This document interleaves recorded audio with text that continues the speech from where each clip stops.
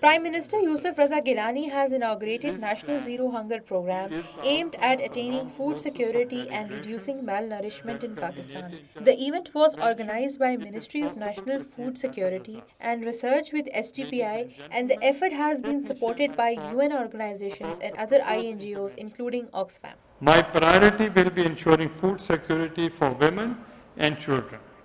For this purpose, the following interventions would be considered in collaboration with the international agencies and private sector.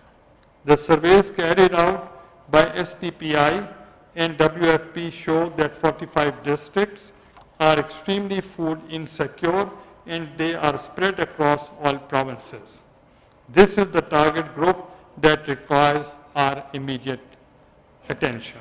The ministry will facilitate and support the efforts of federating units in fulfilling the aim of achieving food security in Pakistan. We were trying to uh, see uh, the value addition of this ministry.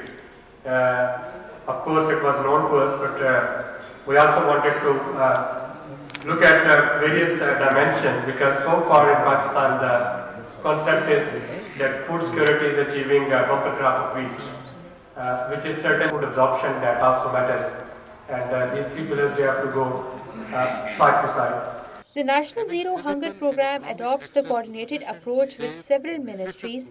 The program will look after 20% of target population with a cost of $1.04 billion per annum. We'll start the program in about three months. And this is going to be a continuous process for the years to come because people have to eat and uh, people have to eat for all times to come. So, therefore, this program hopefully will continue for a long time.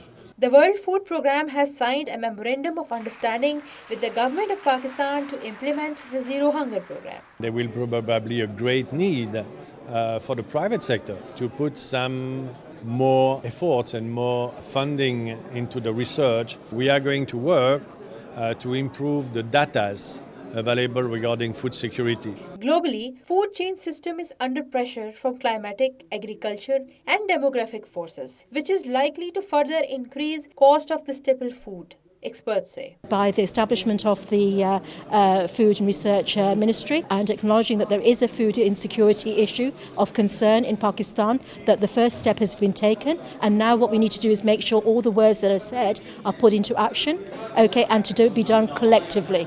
According to experts, high prevalence of food insecurity has intensified extraordinary behavior such as militancy and human trafficking. Bernard Shaw well said that no love is sincere than the love of food. Obviously, food insecurity is the mother of all insecurities. It is truly on the part of government of Pakistan to launch Zero Hunger program. If successful, the program can strengthen the social fabric of Pakistani society and help in overall development. With cameraman Suhail Malik and Ibrahim Ajnabi Fatna Mansoor S T T V Islamabad.